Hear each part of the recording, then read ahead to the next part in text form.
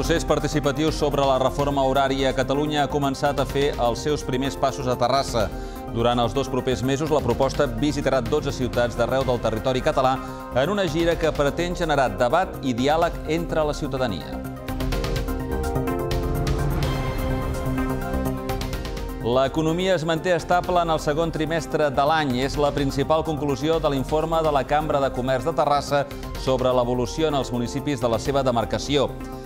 Tots els sectors d'activitat presenten valors positius en l'indicador de la marxa dels negocis, amb més o menys èmfasi.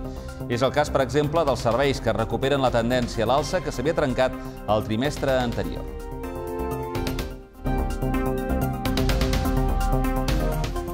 Un camió de transport s'encasta en la tanca de l'estació Terrassa Est de Rodalies.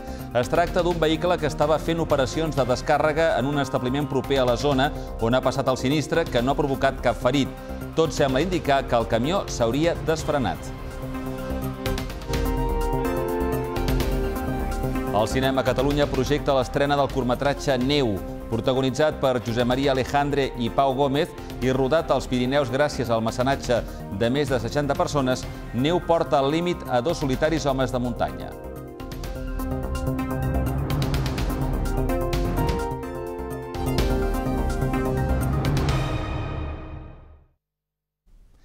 Bona tarda. Arrenca a Terrassa el procés participatiu per impulsar la reforma horària a Catalunya. El diputat al Parlament i impulsor de la iniciativa, Fabián Moedano, ha ofert una conferència al Casal de la Gent Gran de Canaurell. Durant els dos mesos propers, la proposta visitarà 12 ciutats d'arreu de Catalunya. El procés participatiu sobre la reforma horària a Catalunya ha començat a fer els seus primers passos a Terrassa. El diputat al Parlament i impulsor de la iniciativa, Fabián Moedano, ha ofert aquest dimarts una conferència al Casal de la Gent Gran de Canaurell en un acte que ha servit per donar el tret de sortida a la campanya de difusió del projecte. Durant els dos propers mesos, la proposta visitarà 12 ciutats d'arreu del territori català en una gira que pretén generar debat i diàleg entre la ciutadania. En definitiva, volem copsar què és el que pensa la ciutadania sobre aquesta reforma. En segon lloc, eh, fer-los raonar doncs, per eh, que facin aportacions eh, propositives eh, perquè ajudin a, a fer el pacte nacional molt més representatiu i molt més aproximat al que pensa la ciutadania. És a dir, un dels objectius que tenim de l'Ajuntament és justament millorar la qualitat democràtica, és a dir, que els ciutadans eh, participin eh, en l'elaboració de les polítiques públiques i aquest em sembla que és un exemple força evident doncs, de, que, de que això va en aquesta línia. No? I per tant és un orgull, si em permeteu, doble en aquest sentit, de qualitat democràtica i també, lògicament, d'usos del temps, de reforma horària. El govern municipal valora de forma molt positiva que la Generalitat comenci aquest procés participatiu a Terrassa. I és que el 2014 la ciutat va ser una de les primeres en adherir-se a la iniciativa per a la reforma horària, la qual es va posar en marxa sota el lema Ara és l'hora. En la seva conferència, Fabián Moedano ha remarcat la importància de dormir les hores necessàries com un dels principals objectius que persegueix la campanya. El diputat de Junts pel Sí ha destacat el fet que la nostra societat dorm de mitjana una hora menys que la resta de països del món. El proper dimarts, dia 27, se celebrarà també al Casal de Canaurell un debat participatiu sobre els eixos de la reforma. Té un 80%... L'economia es manté estable. Ho diu el darrer informe de conjuntura de la Cambra de Comerç. Tots els sectors d'activitat presenten valors positius en l'indicador de la marxa dels negocis amb més o menys èmfasi. L'índex de confiança empresarial se situa en 6,7 punts, mig punt per sobre en relació al primer trimestre. L'economia es manté estable al segon trimestre de l'any. És la principal conclusió de l'informe de la cambra sobre l'evolució en els municipis de la seva demarcació. Tots els sectors d'activitat presenten valors positius en l'indicador de la marxa dels negocis amb més o menys èmfasi. La indústria en general ha crescut per quart període consecutiu. Per subsectors destaca sobretot el paper de la indústria alimentària, que en el primer trimestre va tenir un comportament negatiu. En canvi, la indústria de la fusta, suro, paper i les arts gràfiques no acaba de recuperar-se i segueix tenint valors negatius. El comerç encadena cinc trimestres consecutius amb valors positius, però el ritme de creixement ha frenat una mica. Els serveis recuperen la tendència a l'alça que s'havia trencat el trimestre anterior. També la construcció ha tingut un bon comportament davant del valor negatiu del primer trimestre. Pel que fa a l'índex de confiança empresarial, es situa en 6,7 punts, mig punt per sobre del primer trimestre. L'estudi de la cambra també fa públiques les expectatives per aquest tercer trimestre. La millor la té el comerç, fins i tot en termes superiors al del segon trimestre. La resta de sectors també tenen bons pronòstics, però no superen el del període anterior. L'informe de conjuntura de la cambra es basa en una enquesta realitzada a una mostra de 515 empresaris dels 12 municipis de la demarcació. També us expliquem que un camió tràiler s'ha encastat aquest matí en un mur que delimita la zona d'aparcament de l'estació Terrassa Est de Rodalies. El vehicle pesant ha topat i embestit la tanca metàl·lica de l'aparcament del recinte sense provocar cap desgràcia personal. Es tracta d'un camió de transport de mercaderies del grup de supermercats Mercadona i que estaria fent operacions de descàrrega en un establiment proper a la zona on ha passat el sinistre. Agents de la policia, diverses dotacions dels bombers de la Generalitat i dels serveis d'emergències mèdiques s'han desplaçat al lloc dels fets. Per ara es desconeixen les causes que han provocat l'accident, però tot sembla indicar que el camió s'hauria desfrenat.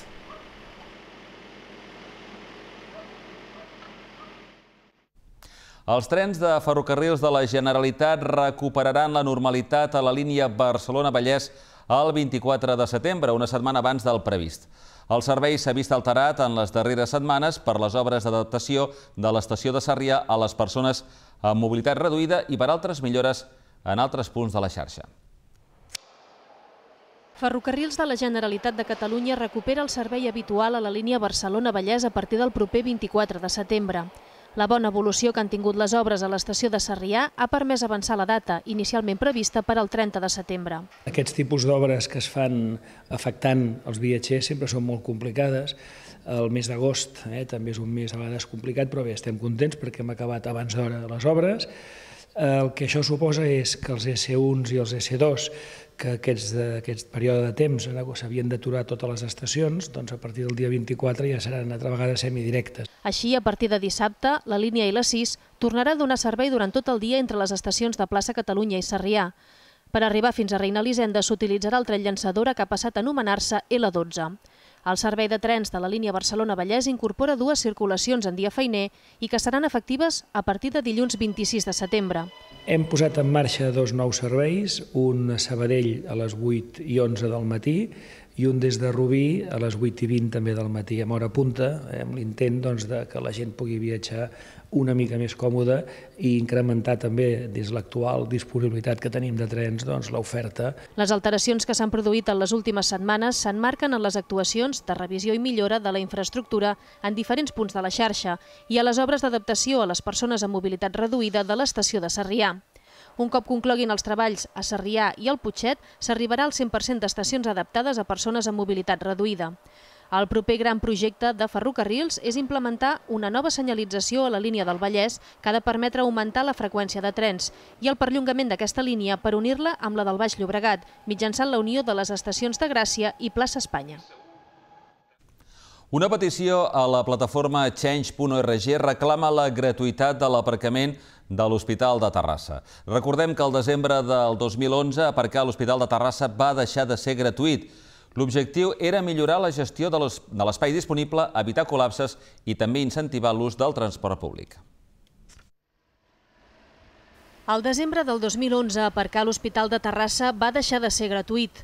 L'objectiu era millorar la gestió de l'espai disponible, evitar col·lapses i incentivar l'ús del transport públic.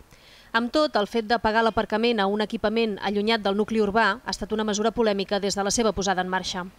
Tot i que el sistema està consolidat, ara han sorgit noves veus per demanar de nou la gratuïtat de l'aparcament. Maria Luisa Ordóñez ha iniciat una petició a la plataforma Change.org que ja compta amb el recolzament de 4.284 persones. La impulsora de la demanda, dirigida a l'Ajuntament de Terrassa i a la Generalitat de Catalunya, argumenta que les persones que ingressen a l'Hospital de Terrassa i a qualsevol altre centre estan malaltes i en aquest cas concret, a l'estar fora de la ciutat, obliga a portar cotxe perquè a partir de certes hores ja no hi ha servei d'autobusos. Segons Ordóñez, hi ha una clara intenció de recaptar perquè, a més, s'ha fet una inversió per col·locar pals als espais lliures de l'aparcament fins i tot a la carretera. Per tot plegat, la demandant considera que és un abús que cal solventar i reclama una solució a l'administració. Terrassa en Comú ha demanat la compareixença de l'alcalde a la propera Junta de Portaveus. Els comuns volen que Jordi Ballart informi de manera precisa sobre la reunió que va mantenir amb el conseller de Salut, Toni Comín. En la trobada es van tractar, entre d'altres temes, el pla d'empresa del Consorci Sanitari que es proposa aplicar davant la seva complicada situació econòmica. Des de TEC consideren urgent conèixer la informació que el conseller va traslladar a l'alcalde per tal que govern i oposició puguin establir una postura conjunta davant d'aquest pla, que posteriorment es traslladaria al Consell de Govern de l'entitat. El partit considera que Jordi Ballart en aquest òrgan representa l'Ajuntament i no el govern municipal i per tant té el deure de traslladar a tots els grups municipals el contingut de totes les reunions i informacions vinculades al Consorci Sanitari. L'empresa farmacèutica Kern Pharma ha atorgat la quantitat de 3.000 euros a Oncolliga. Amb aquests diners, l'entitat Oncolliga els destinarà per organitzar tallers que potencien l'autoestima de les persones que estan superant un càncer. L'empresa Kern Pharma ha fet una donació de 3.000 euros a Oncolliga. Es destinaran al programa Temps per cuidar-te, que vol millorar la qualitat de vida dels pacients oncològics a través d'activitats gratuïtes que els ajudin a potenciar l'autoestima. Per aquest mes de setembre hi ha programat un taller de Tai Chi els dilluns i un curs de gestió de l'estrès els dimecres. L'empresa farmacèutica ja va destinar l'any passat 3.000 euros a un colliga a través del seu programa de voluntariat corporatiu. A més, 40 treballadors de la multinacional van fer de voluntaris en diversos supermercats venent pebrots solidaris per recaptar fons pel desenvolupament de projectes d'atenció a persones amb càncer. El grup Indukern, al que pertany Kern Pharma, ha anunciat recentment la seva expansió a l'Amèrica Llatina que representa una quarta part de la seva facturació. D'aquesta manera, l'empresa vol dependre menys del mercat espanyol, que avui suposa gairebé la meitat de les vendes. A banda de la divisió farmacèutica, amb seu a Terrassa, el grup Indukern té divisions d'alimentació humana, química industrial, veterinària i aromes i fragàncies. La Fundació Mina i la Fundació Cultural Privada Caixa Terrassa han signat aquest dimarts un conveni de col·laboració. Gràcies a aquest acord, Mina col·laborarà econòmicament en la promoció de la cultura mitjançant les activitats que es portin a terme al centre cultural. Concretament, els diners serviran per finançar la temporada estable de circ i els espectacles familiars. Aquest conveni s'emmarca en el conjunt d'iniciatives que la Fundació Mina d'Aigües porta a terme per a la promoció i foment de la millora integral de la qualitat de vida de les persones i del medi. En aquest cas concret, fomentant i afavorint la difusió de la cultura mitjançant l'organització o suport d'activitats culturals.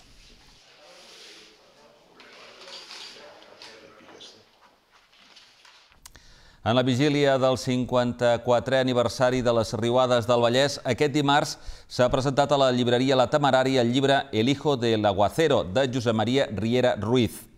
El hijo del aguacero és un relat de caràcter autobiogràfic sobre la fatalitat, l'atzar i la reconciliació amb el propi destí, en el que la pròpia vida acaba transmutant-se en matèria narrativa. El protagonista és un nen de 5 anys que se'n va dormir feliç i confiat en la seva acomodada vida com a fill d'uns rics fabricants.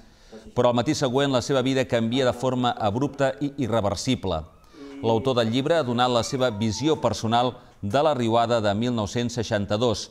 Durant la intervenció s'ha projectat una selecció de fotografies de les destrosses materials que va provocar aquesta tragèdia el dia 25 de setembre d'aquell any, del 1962.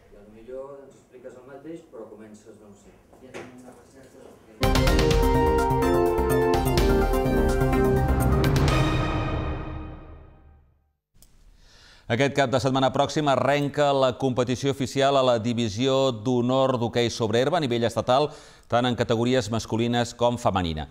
Ja saben que hi ha diversos representants agarencs en les dues competicions. El que farem d'aquí fins a finals de setmana en aquest informatiu és anar repassant com eh, preparen els respectius equips locals aquesta competició. Comencem amb el Club Deportiu Terrassa Masculí Hockey, que recupera la categoria de divisió d'honor no convertir-se en un equip ascensor. Sota aquesta premissa, l'equip masculí del Club Deportiu Terrassa torna a la divisió d'honorar amb la voluntat de quedar-s'hi. Juan Mamàs, el tècnic que ha aconseguit l'ascens, ha confeccionat una plantilla que espera que sigui molt competitiva. Quatre són les cares noves de l'equip el porter de la selecció olímpica del Brasil, Rodrigo Faustino, el migcampista argentí Facundo Rojas, el davanter Paul Soms, exjugador de la gara 35 procedent del Leeds anglès, i el defensa Aleix Roset, que torna a les pedritxes després del seu pas per l'Uchtonians de la Lliga Anglesa. cuatro refuerzos que son, hombre, de, de, de, garantías para, para, la división de honor, que era, que era la idea, reforzar en ciertas posiciones casi, casi como un jugador por línea y la idea es, es pedirles sobre todo que, que sean capaces de competir. O sea, lo más importante, mm, más que, por supuesto, pensando en los resultados, pero si eres capaz de competir, por lo menos, sea el rival que sea, luego normalmente eh, contra equipos que son de tu mismo nivel o, o, que van a estar peleando contigo al final de temporada, los resultados suelen llegar. Entonces, esa, cumpliendo esa premisa, creo que, puede ocurrir. Evidentemente, la B y la A hay una gran diferencia de nivel entre las dos categorías, pero bueno, eh, no, no, creo que sea, digamos, una excusa o algo achacable, ¿no? sino que el, tema es lo que te digo. Poder competir normalmente eh, luego te puede, te puede dar premio. Puja del juvenil al davanter Pau Massip i tindrà dinàmica amb el primer equip el també davanter Edu D'Ignacio. Amb aquests joves, els fitxatges que venen de fora i l'experiència d'aquells jugadors que ja coneixen la categoria, el Club Deportiu Terrassa buscarà aquesta anhelada permanència. El debut, però, serà de màxima exigència, visitant aquest diumenge el campió, el Club Egara. Per la seva banda, l'Atlètic torna a la divisió d'honor femenina, mantenint part del bloc de jugadores que va aconseguir l'ascens. S'han fet tres fitxatges i pugen sis jugadores del juvenil. El debut a la Lliga serà aquest diumenge contra el júnior. L'Atlètic Terrassa torna a l'elit de l'hoquei femení després de l'ascens aconseguit la temporada passada. Andreu Enric dirigeix per segon any aquesta plantilla que manté el bloc i que continua apostant pel planter. Fins a sis jugadores del juvenil donen el salt al primer equip. Anna Barba, Queral Figueres, Mariona Folk, Mariona Icar, Nina Cortés i Clàudia Parera. Un any més l'Atlètic es fixa en jugadores de fora. Arriben la portera argentina Paula Maria Carrizo, procedent de l'HGC holandès la seva compatriota, la migcampista Romina Lotzia, del San Fernando d'Argentina, i la davantera holandesa Jun Van Mil, que jugava al Klein. Amb la il·lusió de les més joves i l'experiència de les jugadores més veteranes, com la defensa Vinyet Figueres, l'objectiu de l'Atlètic no és un altre que mantenir la categoria. L'objectiu del club és mantenir-nos. Nosaltres sabem eh, que serà difícil perquè els equips de la part baixa també és veritat que han reforçat i que per tant hi haurà allà 4, 5, 6 equips d'un nivell molt semblant que, que haurem de lluitar per, per aquestes últimes posicions. Però l'objectiu que tenim nosaltres és competir contra tots, eh? inclús contra equips dalt de tot, jo penso que tenim, tenim equip per, per competir de tot. El hàndicap que teníem era convertir aquest talent en rendiment. Eh, jo penso que amb aquestes noies hi ha molta feina a fer, encara hem de treballar molt a molts entrenaments, però sí que és veritat que tota la resta de jugadores joves de la plantilla que l'any passat ja vam estar treballant, en aquest sentit han fet un salt qualitatiu molt important. L'Atlètic debutarà aquest diumenge a Can Sales davant d'un dels favorits al títol, el júnior de Sant Cugat.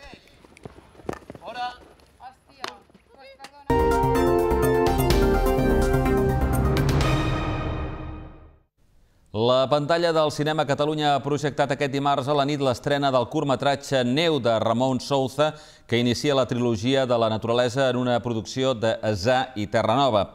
Protagonitzat per Josep Maria Alejandra i Pau Gómez i rodat als Pirineus gràcies al mecenatge de més de 60 persones, Neu porta al límit a dos solitaris homes de muntanya. Després de la seva projecció i en el mateix Cinema Catalunya s'ha obert un torn de preguntes entre els espectadors i els responsables del curtmetratge.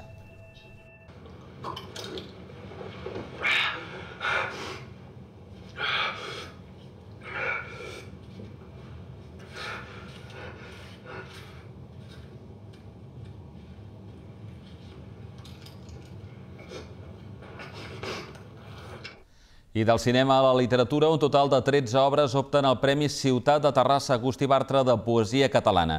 Es tracta de la tretzena edició del certamen que, com en els casos anteriors, premiarà una obra original i inèdita escrita en català i d'una extensió no inferior a 250 versos. Els participants al certamen han hagut de presentar abans del 10 de setembre els originals mecanografiats i per quintuplicat, fent constar el nom i l'adreça de l'autor. El veredicte del jurat es farà públic en el marc d'un acte organitzat per l'Ajuntament el 22 de novembre a la Biblioteca Central. El premi consisteix en la publicació en edició comercial del llibre guanyador. L'Ajuntament de Terrassa facilitarà la publicació de l'obra en règim de coedició amb Pagès Editors. En la convocatòria de l'any passat, en la que es van presentar un total de 32 obres originals, el Premi Ciutat de Terrassa Agustí Bartra de Poesia Catalana va ser per al poeta Josep Fàbrega aquests límits que no veiem, que no podem tocar. Estigués sent esclafat per una mà amb molta força. I una mica de tot, ara també parlem de música. El grup Pàtex Patacs, per ser més exactes, portarà flamenc, fang i música afrocubana a la nova Jascava aquest pròxim divendres. El grup capitanejat pel percussionista Jorge Pérez arriba a Terrassa en una gira estatal en la que interpretaran temes dels seus discos i també versions sorprenents de clàssics de Michael Jackson. La nova Jascava rep aquest divendres la visita de Patax, un grup de música fusió espanyola amb seu a Madrid que ja ha triomfat girant per Sud-amèrica i Europa i que ara inicia un recorregut estatal amb parada a Terrassa. Patax està integrat per 11 músics, capitanejats pel percussionista Jorge Pérez. La seva proposta veu del flamenc, el jazz, el funk i la música afrocubana. A Terrassa presentaran talls dels seus tres discos, l'últim dels quals és A Night to Remember, un directe gravat al Teatre Calderón de Madrid l'any passat. Tampoc faltarà en aquest concert a la Jascava una mostra de l'exitós tribut a Michael Jackson, gràcies al qual han aconseguit més de 20 milions de visites a YouTube amb arranjaments sorprenents de clàssics com Billie Jean o Smooth Criminal.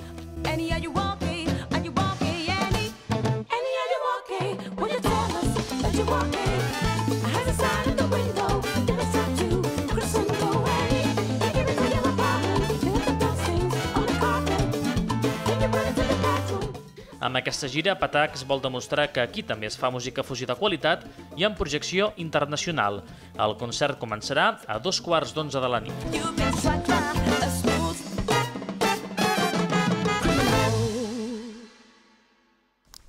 Doncs bé, amb aquesta informació arriba el moment de tancar l'informatiu. Gràcies per la seva atenció. Recordar-los que poden seguir l'actualitat, com sempre, a través de Canal Terrassa, per la ràdio municipal i per internet. Que vagi bé, bona tarda.